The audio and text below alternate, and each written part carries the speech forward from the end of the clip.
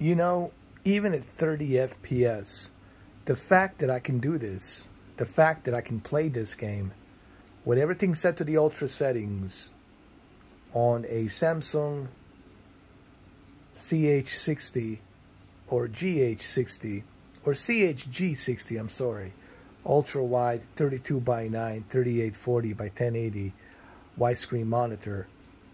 The fact that I can play through Shadow Flight Simulator with ultra settings at 32 by 9 ratio with 3840 by 1080 resolution. I think it's amazing the fact that I can do that. Yes, I know it's 30 FPS. I know it's not, uh, you know, 60 or even 48 frames per second.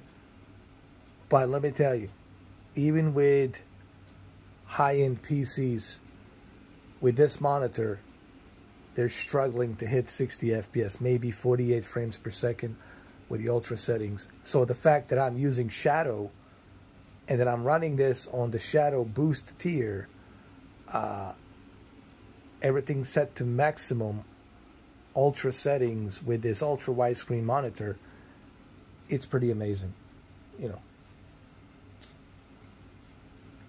We're going to go ahead and take off. We're going to go to New York. Uh, the reason I'm showing you this and the reason I'm recording this, it's because I want you to see that for those of you who don't have Shadow uh, and who are maybe thinking about buying a PC, um, I think you will be uh, pleasantly surprised by Shadow and what's possible with Shadow and what you can do with Shadow. Yeah, I know it's not, you know, you know, 60 FPS or higher. I know it's 30 FPS, maybe 28 to 30, but it's still pretty darn good that you are even able to play this game on Shadow, you know. And this is, I think, a testament that cloud technology it's working, and it's only going to get better and better and better. Uh, you know, this is a pretty high resolution. You know, 3840 by 1080. Uh, it's not a you know just a simple 1080p. It's higher than 1080p, uh, but it's a much wider uh, ratio, which of course requires more bandwidth, which requires more rendering, but um, it's still impressive, you know, that I'm doing this on the shadow.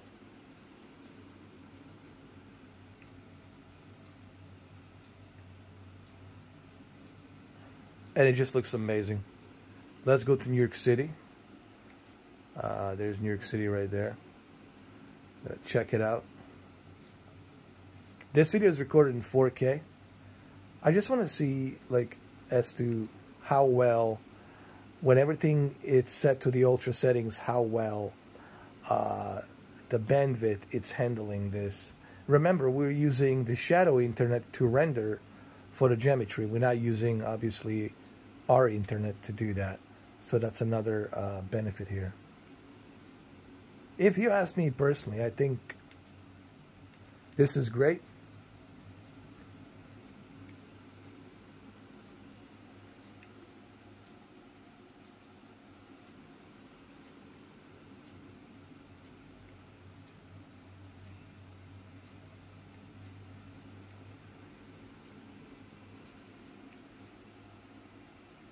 Not bad, not bad at all, man.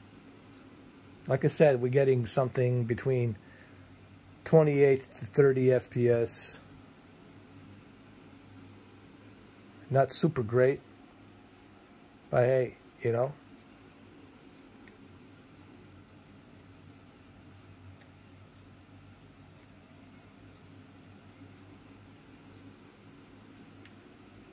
It's remarkable that I can even play this at this resolution, at this kind of uh, frame rate on on shadow.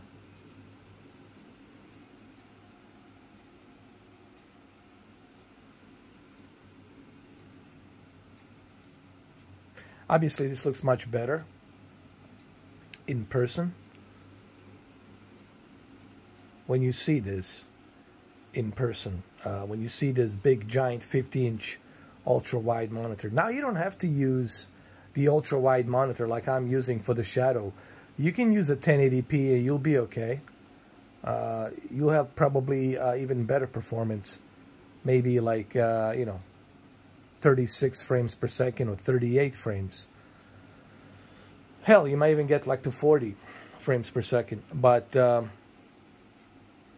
this is just a test. You know, I'm testing this just to uh, showcase to you guys uh, what Shadow it's capable of. And also what cloud technology it's capable of. Yeah, I mean, of course, once they upgrade their machines with better GPU and better CPU and more memory, of course, it's going to be so much, much better. But this is still impressive, you know.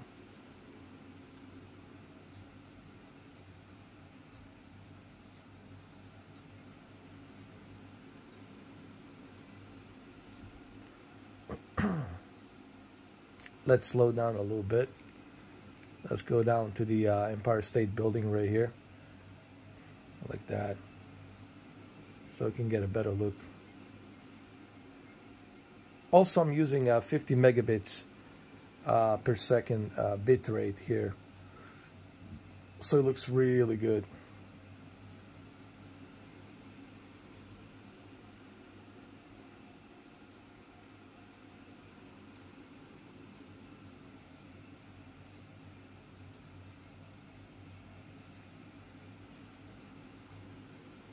Look at all that detail down at, at, the city. Look at this, man. This looks amazing. Let me adjust my, uh, there we go. My low light so you guys can see it better.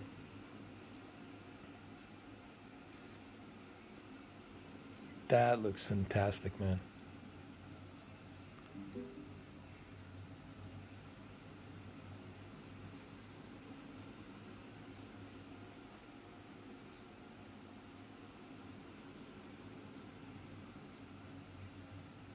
Yeah. Shadow ultra settings. I didn't even think that I was going to be even able to do this, let alone play this. And this just looks remarkable, man. Look at the the Manhattan. Look at the uh, you know Central Park and everything. It just looks amazing.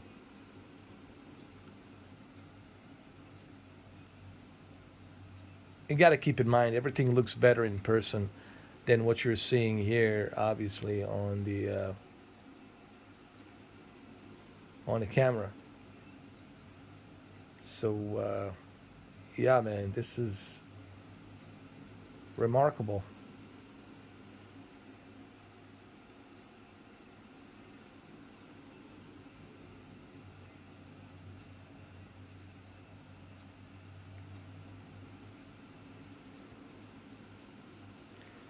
So there you have it, just a little video. Just wanted to showcase this uh, so you guys can see it for yourself. Um, I just want to say one thing before I end this video. I'm like convinced, and I know I'm not the only one. Uh, you know, uh, Cameron, Mamba Man, uh, Brandon, we're all convinced, even Steven, we're all convinced that cloud technology is going to be the future. There's just no there's no question about that in my mind, you know. So, and I think all of these videos that I'm showing you about the cloud technology, I think it only proves furthermore as to uh, what's going to be possible in the future. Well, there you have it, guys. Thank you for watching, and uh, I'll see you today on the Star Wars Lego live stream. Uh, I also might have a video on the Lego Star Wars, uh, PlayStation 5, C10 OLED, HDR settings. So keep an eye on that, guys. Keep an eye on that.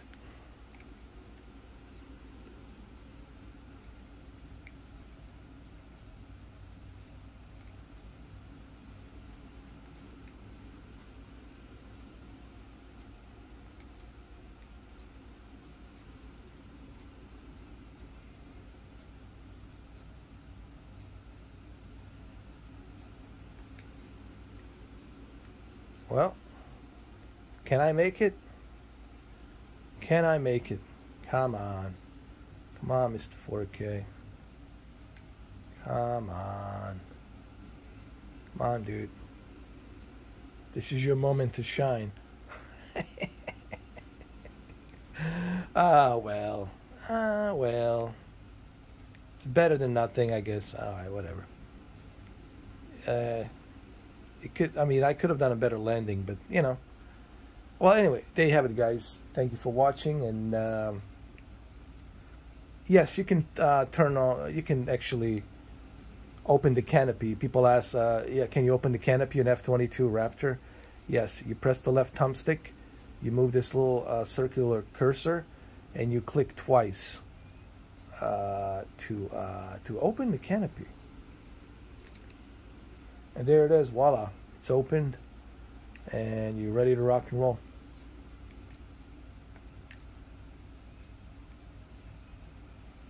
And there you have it. So uh, I hope you guys enjoyed this video. And uh, like I said, today I have two videos coming out. I have uh, Star Wars uh, Skywalker Saga HDR settings on the C10 for the PlayStation 5. And then we're going to do a live stream at 7 o'clock. So I'll see you guys at 7 o'clock today. Happy Saturday, guys. Cheers.